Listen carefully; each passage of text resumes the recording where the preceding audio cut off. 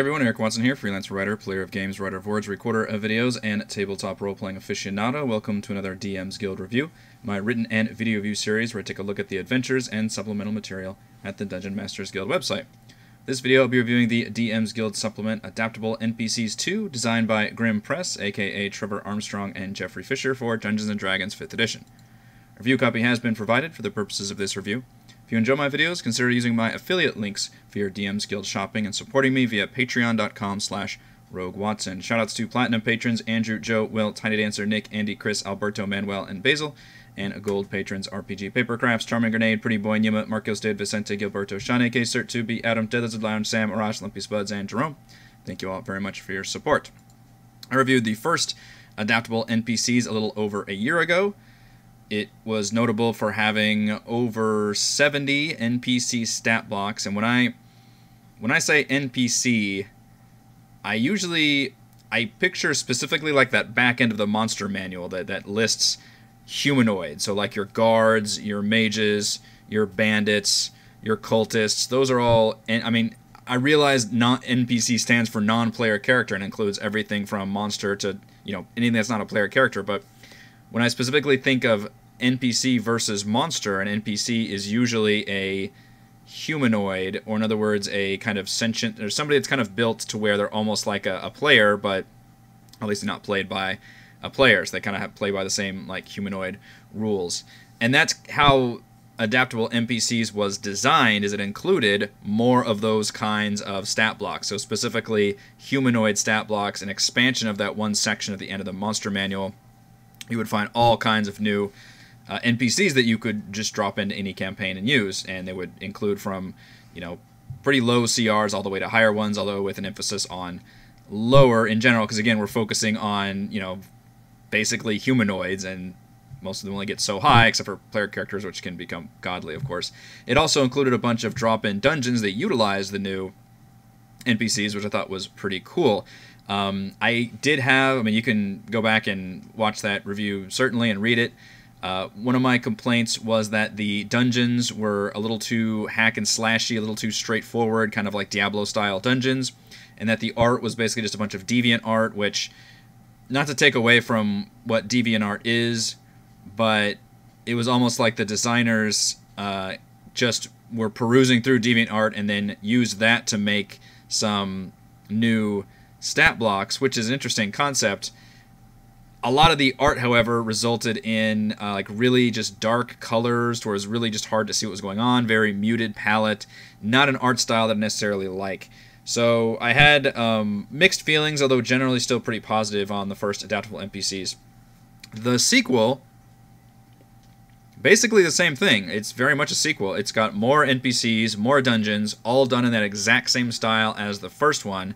This one features over 100 NPCs, which is nuts, and a dozen of those drop in single page dungeons that a lot of them utilize the new NPCs that are introduced.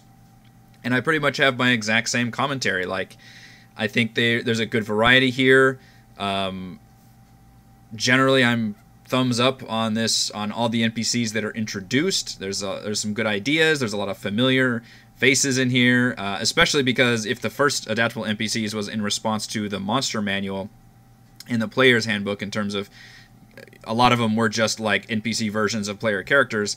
Uh, this one is in response to things from like Xanathars and you know Mordenkainen's and all the expansion stuff that we've since gotten, and this kind of expands on a lot of the NPCs that you see from there. For example, you'll see like the Gloomstalker and the Hexblade and the Undying Warlock. You know, very much just taken NPC stat blocks from all these new uh, PC options that were added. We also do get some new ideas, which are fun. It actually expands a little bit beyond humanoid NPCs and includes a few um, undead and beasts and constructs and elementals. Although that's very there, there's only like a dozen of those or so out of the like again 100. I think it's 110 total uh, NPCs. So it's still mostly humanoids. And the idea here is you know, some of them are designed as kind of quest givers that might have like a single ability you can do on a player, or otherwise just, you know, here's an art you can use. Um, some of them are designed as party companions. They might have some good you know, buffs or helping stats or something along those lines. And then, of course, a lot of them are designed for uh, enemies. So there's a good combination there. And the drop in dungeons do a pretty good job of mixing it up and saying, hey, here's your quest giving NPC that you could use. Here's your companion NPC that can join the party. And then here are the actual foes that you're trying to go after. And every single one of them, like the boss, is just one of these, you know, bigger foes. So we can scroll through and we can take a look at some of the ones that I thought were worth um, highlighting. We've got, uh, and, and, you can see the art style too. So the, the way it's designed, and again, this is exactly like the first adaptable NPCs. If you haven't looked at that one, this is pretty much the same thing, which is we get a huge piece of art, which is all from DeviantArt, uh, a nice stat block, and some descriptions, which is basically all, you know, right out of the Monster Manual or any of the official 5e stuff. Like it's all done in that exact same style, so it looks good the art is just very inconsistent as it is on DeviantArt. I mean, there's no, you know, it's just whatever people are, are making on there. So some of it I think is actually really, really good. Um, and some of it is just very, very dark and maybe even like low res and kind of hard to tell what's going on. One of my complaints from the first adaptable NPCs was how all the uh, women characters were drawn in like, you know, the very archaic, like, you know, boob armor and just ass hanging out and everything. That's just pretty ridiculous for most character concepts, uh, enemies included. And this one kind of solves that problem by just not having very many women characters, so it's not actually a, a, good solution. Like I didn't I didn't go through and like count everything or anything like that, but most of the things in here are, male or at least male presenting. Uh, so technically not a lot of like boob armor and stuff happening here, but on the other hand, there's just not a whole lot of like women art in general. I'm trying to find an example of something that was like really dark and hard to tell uh, what was going on. I mean, there's there's there's some good stuff that I enjoyed, um, but it's the actual like okay, here's a good example, like the Dark Rider and the Death Whisper. Like this is really dark, just kind of muddy art that it, I don't know if it's the way it was cropped, you know, to fit in here. You can tell these are all like maybe full page things originally, and they were all kind of set in it, which is I'm glad it was cropped and fitting. I, I do like the fact that they're all on a single page that looks nice from a presentation organization standpoint, but not all of the art looks, you know, particularly um, enjoyable from that standpoint. But we do get tokens, which is really cool. We get separate tokens for every single one of these NPCs if you're playing on a virtual tabletop, which is a huge plus. That's really, really cool to see.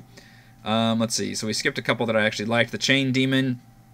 It has built into its stat blocks that it's actually chained to a floor with chains that have hit points and AC, but it does fire damage within 10 feet around it. So hopefully you're putting your players in a situation where they can't really get away from it much, but I think that's just thematically cool. One of the examples of a, a kind of silly one, the Bungling Burglar, is unlucky. He's got disadvantage on all of the things that he does, on all the skill checks.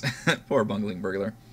Uh, let's see, 21, the Crystal Seer has the ability to essentially bestow a Divine Portent die on somebody uh, like the Divination Wizard. So that's pretty cool from an NPC standpoint. That'd be a great thing to do for like an ally. Uh, even though she's actually got some pretty decent spells, but she's thematically tied to you know clairvoyance and arcane eye and scrying, very specific skill set. But I just like the idea of a companion NPC or a quest giving NPC being able to basically give somebody a portent die, which is pretty neat. Um, on the other end, excuse me, for an enemy, we've got the Depraved Queen, which is kind of a built-in banshee, but she's also got a bunch of uh, charming and paralyzation spells. When she does her big scream, uh, they actually uh, she charms enemies that fail the saving throw, or another one she can just knock them unconscious. Just a neat idea for uh, kind of a boss enemy, especially if you've got the right kind of minions along with her that could maybe take advantage of that. That's pretty cool. Uh, and yes, one of the dungeons at the end is uh, has her in it. Although it's a neat dungeon design because it's like a role playing like Queen's Court kind of a deal where it's like a murder mystery. So I like that. I, I like that idea quite a bit. Uh, there's Frigid Abyssal Walker, which is another one who's a boss at the end of one of the dungeons. Uh, this one, basically just a warlock with ice spells, and that's you know when you've got over a hundred NPCs, not all these are going to be like super interesting and have unique abilities. A lot of times it's just thematic uh, versions of you know how a player character would create their person. So I think like an ice themed warlock is a neat idea for any character concept, and this just takes that idea and like, all right, what does a CR6 version of that look like? And it includes a few extra things. So you've got, you know, Abyssal Blast instead of Eldritch Blast, and Frigid Rebuke instead of Hellish Rebuke, which, again, all really neat ideas, and I think, you know, a lot of players would even try to theme it that way for their campaigns if they were actually playing this character, but this works very well as an NPC also, or as a or as a boss enemy or something. So that's a I think that's a neat idea, and a lot of them are just like that. They're like, you know, just themed player characters that surround these kind of good ideas. But I will highlight some of the cooler one oh frozen.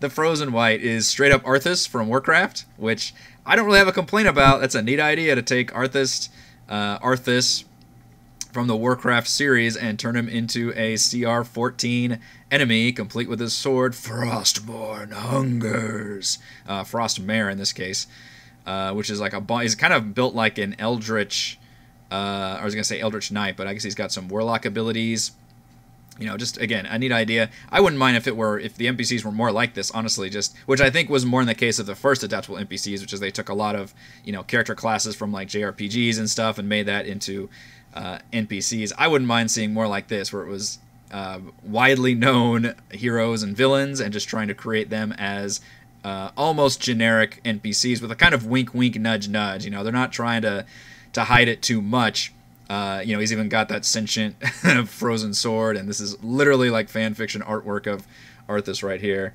Uh, I think that's a neat idea, though, especially if your characters, if your players recognize that kind of thing. If you've got like Warcraft fans at the table and they slowly realize, wait a minute, we're just playing through the, you know, this is a part of the Warcraft story, or you know, oh shit, this is I found Frostmourne, and I think that's a neat idea. I'm I'm all for hitting up those kind of cliches and tropes uh, that are fun in our tabletop RPGs.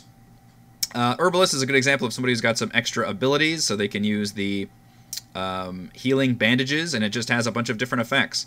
You can give somebody resistance to fire or cold damage, um, advantage on saves against being poisoned, resistant to poison damage. You can have it so if they always regain the max number of hit points whenever they short rest and spend hit dice, uh, advantage on death saving throws.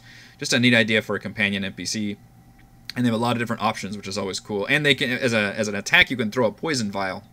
There's another one that's similar to this, which is the Plague Bearer, which is kind of the opposite spectrum, which makes for a good uh, antagonist. And sure enough, as you can tell, a lot of my favorite ones, I, I, think maybe the designers also thought they were the best ones, and those are the ones that get their own dungeons uh, at the back of this book, which are they're like the bosses of their own dungeons. And the Plague Bearer is one of those. Uh, the Chained Demon was basically one of those. The Depraved Queen was one of those. The Frigid, the fr- Frigid Abyssal Walker was one of those. I'm, I'm basically hitting up all the ones that going through, I was just writing down the ones that I thought were the most interesting and cool. And then literally when I got to the back of the book and saw all the dungeons, all of the ones that I loved the most were the ones that were highlighted the most. So I don't think that's on accident.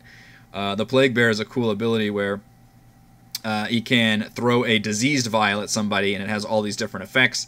I guess you could either roll like a, let's see, one, two, three, you could roll a 1d6 or you could just choose one of these. Although one of them is after a long rest, you just, you're unconscious, you don't wake up. And every day that passes, you your hit points are halved, which is fucking terrifying compared to the others, which just deal like poison or necrotic damage or, you know, some, or petrification, something that's a little more, uh, you can deal with it a little easier. That one's that is a painful contagion. Um, the Mage Hunter is kind of a neat idea for going after high level enemy spellcasters. A CR 16, by the way. Most of the NPCs in here, I, I kind of glossed over the by CR, but are tier 1 and tier 2, which makes sense. That's where most of D&D is being played, and that's where most of the time you're going to see and deal with a lot of humanoids as opposed to, you know, gigantic monsters that have extra things going for them. So it makes sense that they're mostly tier 1 and tier 2, but rarely we do get a few very specialized, heightened uh, humanoids that are in the higher range. The Mage Hunter is one of those. This dude has uh, attacks that cause uh, that, that force you to make a con save, and you've got disadvantage. They have legendary resistance. They have a at will anti magic field in a 10 foot radius that they can turn off and on. They have advantage on all saving throws against fifth level, and they have a at will, not at will. I guess it's a reaction. They can basically have built-in counterspell and they also have legendary actions on top of that where they can do this cool like teleport move where they can teleport close. It's just all these things are like designed to counter all of the of the wizard shit. So i think that's a neat idea for a foe against you know say you've got a either a team of sorcerers or wizards, or this could be like you could build this person as a specific, you know, you are being hunted by this person who's designed to take you out. And it reminds me of uh, the very, very excellent Broken Earth trilogy uh, by N.K. Jemisin, which is an absolutely phenomenal series of fantasy books. And one of them is the uh, protagonist is basically a, I won't spoil it, but it's basically a uh, sorcerer and there are a whole it's kind of like dragon age where there's a whole uh, sect of like uh, mage guard guardians that are designed to like keep the mages in check um, and it, it works very similar to this where they have all these specific powers that can like shunt off what the mages can do so it's it's a really cool system and that's what reminded me of this one i like, I like that a lot mage hunter i'll have to keep that one in my back pocket um, rune hunter was another cool idea which featured um, a, a rune. This reminds me of uh, Celes from Final Fantasy VI, where they can absorb a spell that misses them, channel it into their sword, and then deal that much damage on their next turn. They can also scribe runes on themselves or others, and these runes have different effects, like plus five to an ability score, or resistance to a certain damage type, or um, built-in uh, rebuke. Just cool ideas again. And I think that's pretty much all of the ones that I had highlighted. I mean, it's just, you know, Storm Knight had is a knight with lightning powers and a lot of them are like that again a lot of them are just you've got over a hundred npcs most of them are just taking a concept and theming it in a certain way and some of them are just goofy and, and simple uh, you know a good example of one that doesn't really isn't terribly impressive on paper but still gives you different options is the vagabond the Vagabond is basically a spy, like the, literally the CR1 spy stat block, but instead of the bonus action disengage stuff, they have the ability to lay a trap three times a day, and the trap stats are all spelled out here, which is a neat idea. Notice how it has more armor class and like twice the hit points as a spy, and that's something you're going to find throughout uh, this supplement is that the hit points of most of these humanoids are a lot higher than what their equivalents would be in the monster manual. And i think that's very much on purpose because as anybody who's played any amount of d&d knows is that most of the monsters in the monster manual are too easy for their cr value. And even if you try to do the math of like making your own monster and, and doing that it just doesn't really add up correctly. So i've got no problem with making these enemies a lot stronger but that's something you should be aware of uh, when you're just dropping these in there. I don't know if these CR. I mean, combat balance is one of the most convoluted aspects of D&D design and 5e balance. I think because it's not done very well in the original monster manual. Their monsters are usually way easier than what they should be. So something to keep in mind. That's not a pro or con in here, but these enemies typically have a lot more uh, hit points and kind of designed for more of the I would say experienced players that enjoy combat and really enjoy the meat of it and want combat to last longer or be challenged. And not every uh, team necessarily, uh, not every uh, group necessarily wants to do that. So that is all of the NPCs. That's I just highlighted a few of my favorites, but there's a lot of um, good stuff there. At the end of the book, we get the pathways for adventure which are 12 drop-in dungeons. Adaptable NPCs 1 came with 8. This one comes with 12. They all include their own maps and their own little uh, adventure breakdowns. Now, we get full-color battle maps, which is awesome. These are pretty cool maps, which is awesome. The actual adventure backgrounds are decently fine. Some of them have some cool ideas in there. And then the layout is pretty much just a straightforward hack and slash for the most part. Now, a couple of them do try to do something different. Most notably is the um, the one I talked to the Queen's Court, which mentions kind of a uh, somebody you know you're invited to uh, this castle and everybody's having I don't know if it's a party or a wedding or something's going on, and uh, there's a, a, an assassination attempt made on the queen, who's who, who is a a what are the lady of the court in disguise no, sorry, a depraved queen. She's the depraved queen in, dis- in disguise. She, she only does it at night, I guess. Turns into this banshee thing. And somebody in her court is trying to kill her, and the party's there, and it's kind of a murder mystery. But all of that is mentioned in like a single paragraph or two. You know, there's not like a timeline or dates or anything like that. So the structure of these dungeons never changes beyond okay, here's your overarching synopsis and then uh, here's maybe a single paragraph of description along with like the npcs that we're using and then here's just a room by room breakdown and rooms either have nothing in them, they have treasure in them, or they have enemies in them. There's no real like there's no traps, there's no puzzles, um, there's no real I don't think there's any like people you can find and talk to, although you do te- typically get somebody in the beginning that joins you, so they could be an NPC that way. But they're all designed that same way, even though some of them do try to do something different and kind of play around with that, like this one, which at least attempts to tell a story about this assassination, but it's not really like a beginning, middle, end kind of story. These are very much just drop in, and a lot of them are just hack and slash. It's just, hey, you stumble upon this, you know, monastery in the middle of the cold, and there's a frigid abyssal walker in there. There's this temple full of, you know, undead roaming around, or there's this item that we need to get from uh, the swamps. Um, there's a horde of undead rampaging around this nearest town. We need to go into this cave and this kind of cool flooded grotto map and stop this hollow soul from praying at this altar, which is making all this happen. There, there is some good stuff going on here. It's just the actual dungeon designs aren't terribly impressive or inventive. Now, that's a weird complaint to have because this is not an adventure product. All of this is just bonus. You know that this is this is designed as just a bunch of NPCs, a lot of NPC stat blocks that you can drop into your campaign and utilize the fact that we get all of these battle maps, all of these dungeons, all of these tokens, and yes, we do get separate maps for player and DM. Obviously, you're looking at the embedded version of the DM player map. The supplement does include separate player battle maps with all the numbers and things. The fact that we get all of that in this is absolutely incredible. So, yes, I'm complaining a bit about the dungeon design. I, I just wish, you know, I, I like the single page thing, and I like the fact that a lot of them use the NPCs that are provided I just wish it had gone just a little bit further and done a few because there's a way you can just do hey this this tunnel right here is collapsed. It'll fall unless you make a this kind of saving throw. Or you know there's a locked chest with a poison needle trap in there. Like just a few of those would have really gone a long way to break up the action of just moving looking around moving looking around fight move fight look around fight move. That's pretty much all you do in all of these different dungeons. So I think it goes a long way if you could include a few puzzles a few secrets, a few lore notes. Uh, have a, a, couple of them have like an NPC that you can find that's got some information, or that they can actually meet halfway in the dungeon, rather than always getting the NPC, you know, at the beginning of the dungeon to go through with them.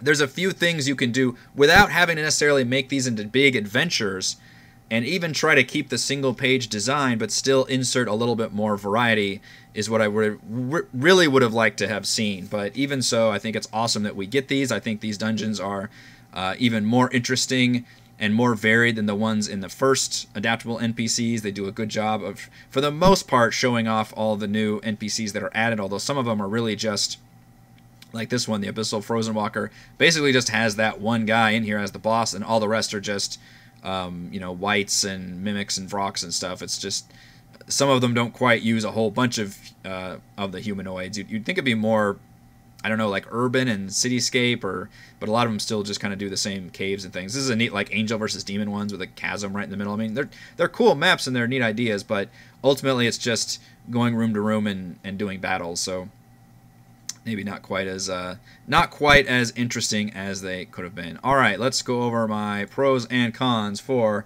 adaptable NPCs 2 NPC Boogaloo. Over 100 NPC stat blocks with art and tokens for virtual tabletops. Super mega thumbs up for that. Love to see it. Uh, pro, huge variety of styles, including silly, like the bungling burglar and the aging hero, familiar, like the gloomstalker and the hexblade, and original, like the crystal seer and the plague bearer. You will find all kind. I mean, with over a hundred, you're gonna find a lot of options. Everything from simple themed versions of player characters to really kind of cool ideas for companions and enemies to just kind of silly, like there's a dignitary, like just kind of silly stuff that you maybe use as a one-off. Pro 12 drop in single page dungeons with full color battle maps that utilize the new NPCs. Very, very cool. And Pro separate DM and player battle maps. I wanted to highlight that specifically because if they had just done that and just included, you know, those maps as an example, you know that's fine but then i couldn't actually use that map. So i do like that the extra steps were taken to actually provide in separate zip files along with the tokens. We get those separate maps. So very vtt friendly which i am a huge fan of. Cons.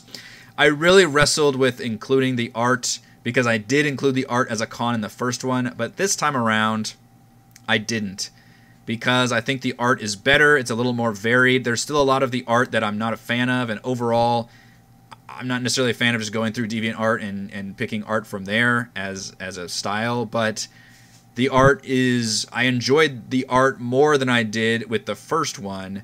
So ultimately, I had mixed feelings about it, which means I did not put it as a con.